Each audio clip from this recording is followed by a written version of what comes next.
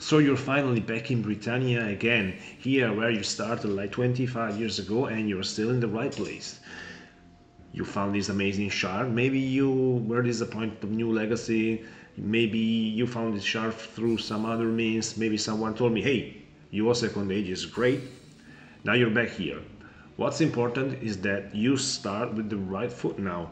You are here, you are in Britannia, relax, don't go nowhere. Don't go to the bank only to see that it's empty. Don't go to graveyard only to be killed by a skeleton. Don't do nothing, relax. If you're here, it's because you have been in this place, okay?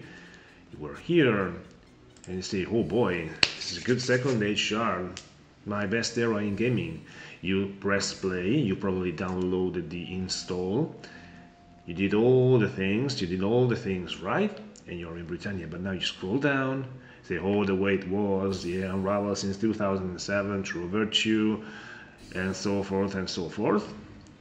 This is what you have to do. Press join Discord. That is the thing that you gotta do. And I'll show you why. When you come in Discord, this is what you find. Okay, don't mind the Italian, but this is what you find. You see how to connect, all the guide. There are all the guides here to all the skills, alchemy, anatomy, how paralyze works, how rares work, and so forth and so forth, how lumberjacking works, how tailoring works, and so forth. You find all the rules in detail, and most importantly, you find shard events. You realize, oh boy, the shard is alive. There's the event popping. Announcement. Oh boy, there's something in here. General chat. Hey, look at that. And that's only today. This is today only. I mean, look at that. Look at that. In-game events. Let's talk about in-game events. Guides and wiki. UOSA content where you can find us guy with multiple videos and showing how UOSA is a great shard. PvP, where you can where you can measure repeating here.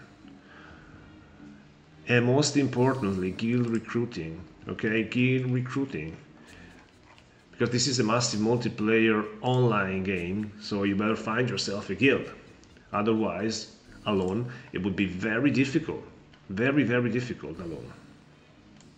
So once you once you've done all this, okay, you say, you go in this and say, hey, I'm a new player. Can you help me getting started? Helping getting started doesn't mean that you're gonna they're gonna give you like a small deed to place your first house. It means they're gonna give you advice on how to start your character. They're gonna give you advice on how to start the second account maybe uh, be help your first account. They're gonna tell you how to raise skills effectively. I mean, they're gonna they're gonna provide help because we are great community here. Sure, we have PKs, sure, we have anti-PKs, sure, we have griefers, sure, we have anti-griefers, but we are a great community. This shard is very healthy because you have balance in everything, okay?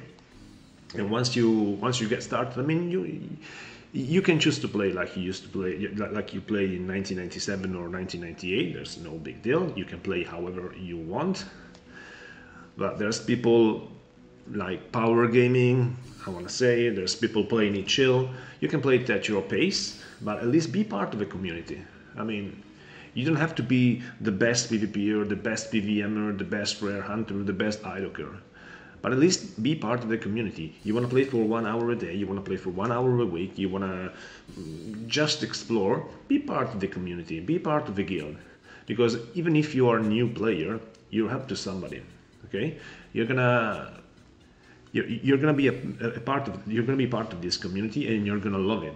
Otherwise you just play for an hour you fix your nostalgia and that's it. Okay see you all in 10 years from now.